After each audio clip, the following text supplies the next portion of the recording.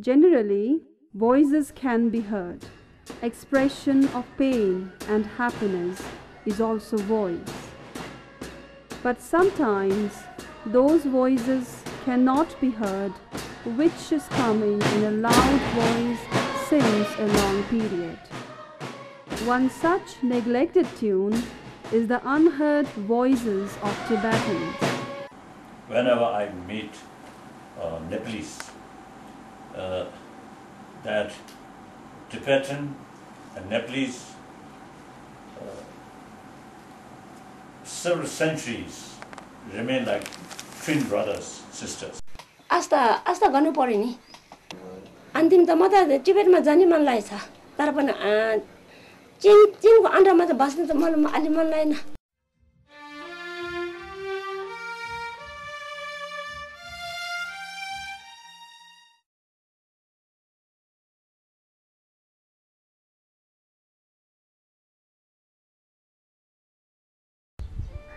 मेरो नाम कार्चुङ मेरो चाहिँ नि शेरिक डोल्कर। हामी दुवैजना पिएन क्याम्पसमा पढ्दैछौँ होइन? मास्टर फर्स्ट इयरमा त्यो पनि सोसियोलोजी फिल्डमा। बिहान चाहिँ क्याम्पस जान्छौँ दिउँसो चाहिँ हामी पढाउँछौँ होइन? अनि हामीलाई चाहिँ के लाग्यो भने पिएन क्याम्पसमा टेन थाउजन्डभन्दा बढी स्टुडेन्ट्सहरू पढ्दैछ। सबै स्टुडेन्ट्सहरूको आफ्नै आफ्नै होइन? एम हुन्छ एम हुन्छ होइन? लाइफमा। अनि तब हामी चाहिँ अब यसले मास्टर फर्स्ट इयरमा पढ्दैछौँ हामीलाई चाहिँ के फिल भयो भने यतिसम्म पुग्दाखेरिमा चाहिँ हामीलाई चाहिँ अलि भए पनि कता कताबाट एकदम डिस्क्रिमिनेसन्स डोमिनेसन चाहिँ फिल भयो। त्यो चाहिँ आफ्नै अब रिफ्युजी भएर होला सायद होइन? अब एउटा टिचर भएको हुनाले एउटा लाइसेन्स भएको भए झन् राम्रो हुन्छ भन्ने विचार थियो। त्यसैले बिए थर्ड इयर पास भइसकेपछि बिएड वान इयर गर्ने विचार थियो। तर त्यसमा चाहिँ सिटिजनसिप नहुने नभएपछि चाहिँ त्यो लाइसेन्स पाउन धेरै गाह्रो अनि त्यही माथि चाहिँ नि अहिलेसम्म त पढाइको लाइनमा यसरी हामीलाई केही त्यस्तो दबाबहरू आएको छैन किनभने हामीले कन्टिन्युसली हामीले स्कुलमा पढाइरहेको छु होइन। पछि हामीले के कुरा सुनेको छ भन्दा अब लो अनुसार जाने भने पछि आउने केही दुई तिन सालपछि यो लाइसेन्स चाहिँ अनिवार्य लाइसेन्स अनिवार्य भनेर त्यो गर्छन् त्यो। भनेपछि हाम्रो चाहिँ जे भए पनि हजुर। आफ्नो जागिर चाहिँ धेरै दिन टिक्दैन जस्तो लाग्यो हजुर म वैकुण्ठ प्रसाद अर्याल अ, म यहाँ कास्की जिल्ला जिल्ला शिक्षा अधिकारी जहाँसम्म गैर नेपाली नागरिकहरूले शिक्षक बन्न पाउने कि नपाउने भन्ने सवाल छ त्यस हिसाबमा चाहिँ अहिले विद्यमान शिक्षा ऐन तथा नियमावली र शिक्षक सेवा आयोग नियमावलीले राखेको प्रावधान अनुसार चाहिँ शिक्षक बन्नको लागि अर्थात् त्यसको लागि पूर्वाधार स्वरूप चाहिने शिक्षक अध्यापन अनुमति पत्र प्राप्त गर्ने प्रयोजनको लागि चाहिँ नेपाली नागरिक नै हुनुपर्ने प्रावधान। शिक्षक सेवा आयोग नियमावली र शिक्षा ऐन तथा नियमावली त्यो प्रावधान राखेको अवस्था छ। It is an example that shows in what condition the Tibetan refugees are living in Nepal living more than half a century Tibetans whose by nature say that they are facing multiple problems in Nepal. Among the problems, the major one has been the refugee identity card, which is commonly called RC. मेरो नाम टसिदुन्डु हो name अङ्कले पनि सोह्र वर्ष पुगेपछि त्यो देशको यामा त्यही देशको चाहिँ नागरिकता दिनु पऱ्यो केही चाहिँ त्यो रिस रिफ्युजी छ भने त्यही चाहिँ आन्सरको अँ, कार्ड दिनु पऱ्यो यसले हाम्रो कति छ भने यहाँ नदिएको पैँतिस वर्षसम्म भएको मान्छे पनि पाएको छैन। त्यो कति चित्त दुख्ने कुरा हो त्यो माना अधिकारले के हेरेछ? नेपाल सरकारले के गरेको हो? त्यो साह्रै दुःख लाग्ने कुरा छ। मेरो नाम लाक्पा छिरिङ अ, अब मेरो समस्या के हो भने अब जे काम गऱ्यो गऱ्यो भने के त देखाउनु पर्छ नागरिकता कि रिफ्युजी कार्ड अब यहाँ ने नेपालमा टिपेटन रिफ्युजीहरूले चाहिँ पर्सेन्टेज गर्दाखेरि ट्वेन्टी फाइभ पर्सेन्टले आरसी पाएछ होला मेरो रिक्वेस्ट के हो भने हामी हामीले यो नागरिकता चाहिन्छ भने रिक्वेस्ट होइन हामीले आरसी चाहिन्छ किनभने हामी नागरिकता यहाँ पाएर हामी यहाँ बस्ने होइन। एक दिन हामी आफ्ना देशमा जाने हो।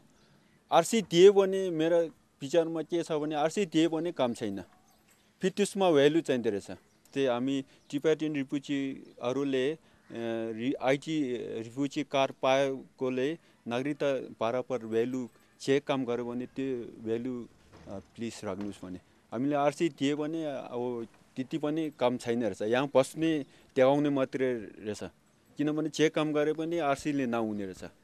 भन्दाखेरि हामीले आरसी पायो भने फेरि त्यसमा भ्यालु भनौँ न।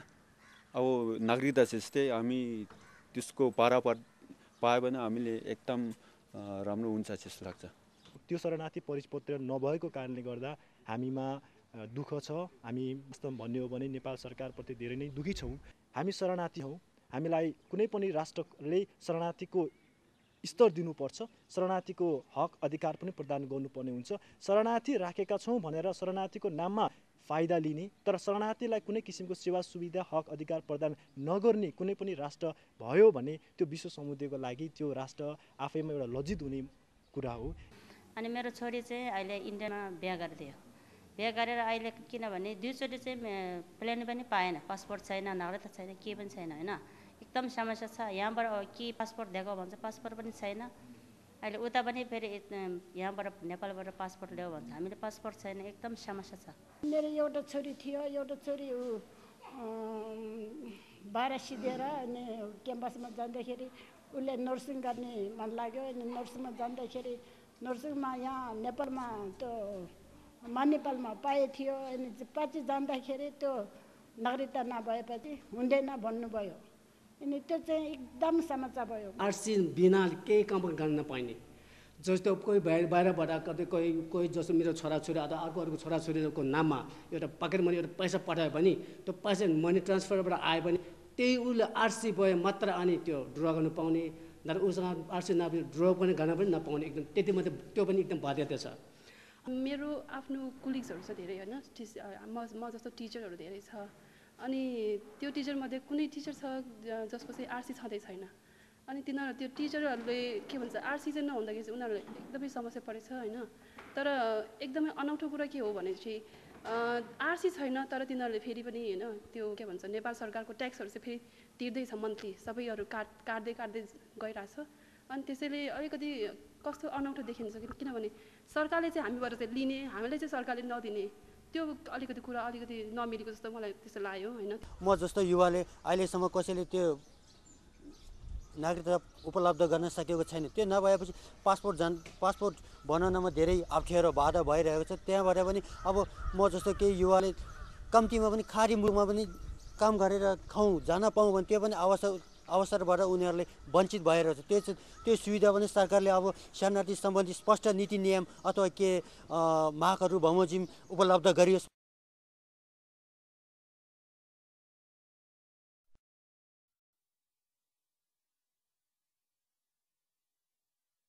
हामी चाहिँ यहीँ जन्मेको यहीँ हुर्किएर यहीँ पढेको तर पनि आफ्नो परिजनहरू नभएपछि परिजन के नभएपछि अनि एकदम दुःख लाग्ने चिन्ता हुने डर हुने सबै हुँदो रहेछ।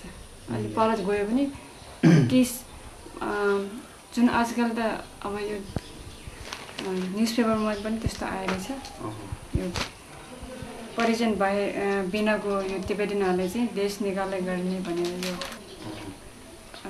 पत्रमा आइरहेछ त्यो देख्दाखेरि त झनै अब त एकदम चिन्ता ठुलो यो चाहिँ फेरि यस्तो हो कि यो शरणार्थी भएर असुरक्षित महसुस भएको होइन? शरणार्थी भएर फेरि त्यसमा शरणार्थीको पहिचान अब एउटा परिचय नभएको कारणले त्यस्तोहरू महसुस हुन्छ हामीलाई। अब घरभित्र बसिरहँदा त त्यति फिल हुँदैन। अब घरबाट बाहिर निस्किएपछि अनि अलिक पर जाँदाखेरि पनि कसैले सोध्यो भने कहाँ को हो कहाँको हो? भने सोधेपछि त आफूले एकदम के भन्छ अब डर जस्तो लाग्ने। कतै पक्राउ हुन्छ कि भन्ने जस्तो डर लाग्ने किनभने आफ्नो आफूसँग छैन परि परिचय। अनि सँगसँगै श्रीमानको पनि छैन। त्यो भनेपछि त दुइटै अब असुरक्षित जस्तो महसुस हुन्थ्यो। हामीले चाहिँ इलिगल मानेर पक्राउ पर्छ कि भने त्यस्तो एकदम चिन्ता हुन्थ्यो। अहिले पनि भइरहेछ त्यसो त। अहिले आफ्नो यो लाइफ पनि एकदम इन्सेक्योरमा हुँदाखेरि अनि पछि अब आफ्नो बजा बजी भइदियो भने तिनीहरूको लाइफ पनि हामी जस्तै अब एकदम डिफि गाह्रो उनीहरूको भविष्यमा पनि के गर्छु भने भने नसक्ने अनि आफ्नो परिचय नभएपछि उनीहरूलाई पनि एकदम गाह्रो हुन्छ कि भने त्यो सम्झेर अहिलेसम्म चाहिँ त्यो त्यस्तो प्लानिङ केही गरेको छैन।